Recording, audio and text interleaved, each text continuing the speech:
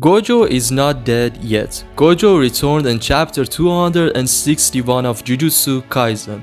I mean that was something we were all waiting for and thought was going to happen but it didn't. But it is still possible that Gojo will return. Be with me until the end of this video so that I can fully explain how such a thing is possible. This chapter was one of the most wonderful and best chapters of Jujutsu Kaisen, but the event that we were all waiting for didn't happen and Gojo did not return. The way that chapter 260 ended was very cruel and Gege fooled us again like always. In chapter 260 when Sukuna came back and saw Gojo Satoru's face, we were all fooled and thought that Gojo had returned. The whole internet exploded from Gojo's comeback. You opened every social media, it was all about Gojo Satoru and that he sacrifices one of his eyes with the binding vow and returns. But Gege was laughing at us at that moment and fooling us with his tweets. In short, after all these events, chapter 261 was released and we saw that at least Sukuna was not hallucinating and that Gojo was really back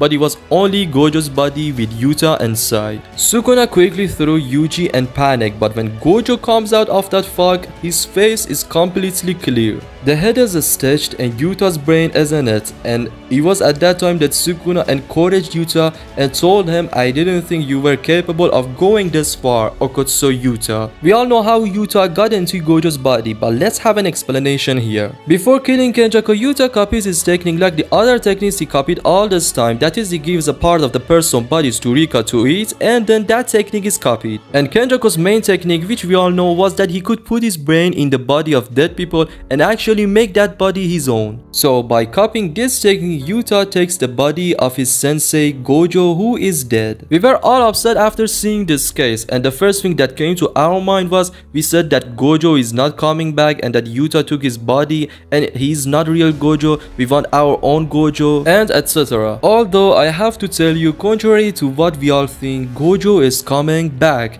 There are many signs for this subject in Jujutsu Kaisen manga that confirm this subject. Now I will explain everything to you, but let me tell you about the condition of Yuta first so that you can fully understand what is exactly going on. After we saw Gojo's stitched face in this chapter, we have a flashback to Rika eating Kenjaku so that Yuta can copy his technique. Exactly the same explanation that I said a little earlier. And so Yuta reveals this plan to everyone and says that he wants to do this and almost everyone everyone is against this case and they are not satisfied with this war. But Yuta convinces the others and tells them in order to defeat the monster, they must become a monster. And this is where Hakari says that they will only implement this plan if it is their last resort. And here we understand a very important point about Yuta's power and that is that Yuta's copying technique allows him to copy the cursed technique of others for 5 minutes. Only for 5 minutes. So here comes a very big question. What will happen to Yuta who copied Kenjaku's technique and entered Gojo's body after 5 minutes? And Mei Mei here tells 3 possibilities that may happen after 5 minutes. The first possibility is that Kenjaku's ability is such that it must be used quickly after being copied so when Yuta is about to enter Gojo's body he dies which it didn't happen and Yuta managed to enter Gojo's body. The second thing is that Yuta goes into Gojo's body and dies after 5 minutes. And the third thing is that he is permanently stuck in Gojo's body and can no longer use his own body and his cursed technique. Remember these three possibilities cause we will mention later. We had another flashback in this chapter where Yuta explains these plans to Gojo himself and Gojo doesn't show any opposition and says that he doesn't care what will happen to his body if he is going to die. Also, Gojo refers to his bloodline and Yuta and tells Yuta that you are stronger than his bloodline. And sure, the flashbacks end and the chapter continues with Sukuna's fight against Yuta and the chapter ends with the Infinite Void versus Malevolent Shrine. After finishing this wonderful chapter, almost everyone come to the conclusion that with this chapter, it was confirmed that Gojo Satoru is 100% dead and will not come back. But I have to tell you that no, there is a strong possibility that Gojo will return and there is still no 100%. In fact, with the publication of this chapter, the possibility of Gojo's return increased. But how? After all this explanation, now it's time to tell you in full. In the episodes of the first season of Jujutsu Kaisen, many things were said about the soul and body and the relationship between these two. Since the character Mahito entered the anime due to the power of Mahito, which was to change the structure of the soul, this connection was fully explained. Mahito believed that the soul came before the body and the body was made to cover the soul. But we will see this discussion between Kenjaku and Mahito once again and Kenjaku says to Mahito that you say that the soul came before the body but it is not so.